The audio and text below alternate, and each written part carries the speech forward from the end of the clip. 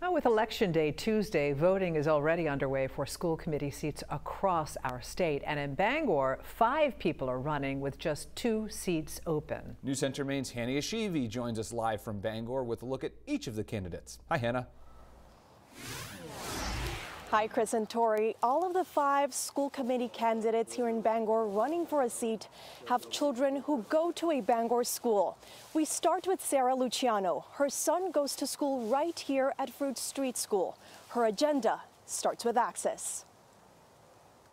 And for me, access spans several different points. It's access to things like services, um, ideas of what would help their children uh, facilitate their learning, things like 504 plans, but it's also access to things like internet resources. And Luciano's push is to help parents get that access. And I know that our community is filled with those people, and I'd love to get all of us working to turn to everybody near us who might need help and say, What do you need? How can I help? For candidate Carrie Smith, the concern is about all the changes students have been going through due to COVID. I'd like to help them get back to a sense of normalcy, but I, I really want to be a voice for the parents. I think the parents don't necessarily feel included when new um, curriculum is changed or presented. Smith says with a new superintendent leading the way, she wants to be hands on. I'd really like to help the kids get back to just being able to focus on academics and maybe leave some of the social pressures, you know, um, out of school. Also running, Eric Crawley.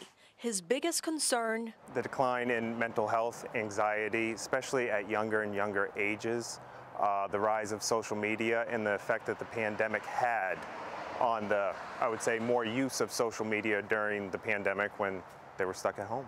Crawley coaches youth sports. He says being involved in kids' lives is something he truly enjoys. I love the Bangor schools and I know how great they are and I want to continue that. Emke Schessler Johnrow is running in part to improve how schools are keeping parents in the know. How do you best reach out to parents? How do you make sure the proper message is received at the right time through the right media in order to get that information out there?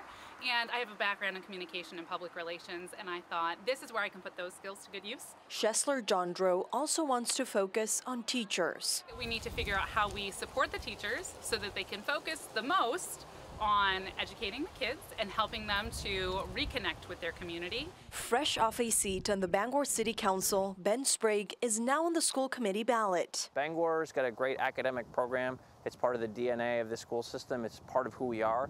But we also really need to focus on the mental side as well, the mental health side and the, the overall well-being of the kids in our schools. His goal is to help better support kids with an academically driven school system.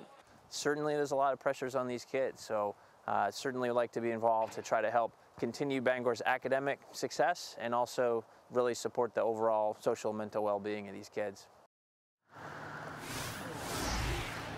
These five candidates all hoping to get your vote this next Tuesday or sooner if you're voting early. And I have more detailed information on each of the candidates for those of you who are still trying to decide who to support. Chris and Tori.